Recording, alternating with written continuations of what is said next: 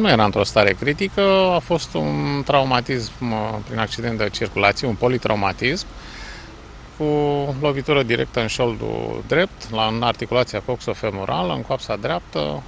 Primul echipaj a ajuns acolo, i-a acordat primul ajutor și l-a transferat la spital în vederea unor investigații ulterioare. Șoferul neatent este cercetat de polițiști pentru vătămare corporală din culpă. În plus, a rămas și fără permis de conducere. Actul i-a fost reținut în vederea anulării.